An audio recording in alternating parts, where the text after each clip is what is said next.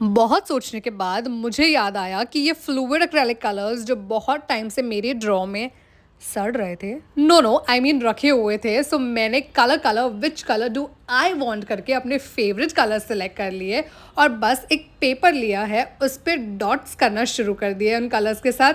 बहुत ही simple technique है हम फ़ोन कवर पे कर रहे हैं। सो फ़ोन कवर इस पर रख के प्रेस करना है। एंड इसका आउटकम देखने के लिए मैं भी एक्साइटेड थी कि क्या लुक आएगा और इतना प्यारा लुक आया है ना? आई कान टेल यू देखो यार, एकदम ऐसा लग रहा है वेव्स बन चुकी है और बहुत ही अच्छा बीची फ़ोन कवर जैसा लुक आ रहा है। ऐसी वीडियोज़ के लिए प्लीज़ सब्सक्राइब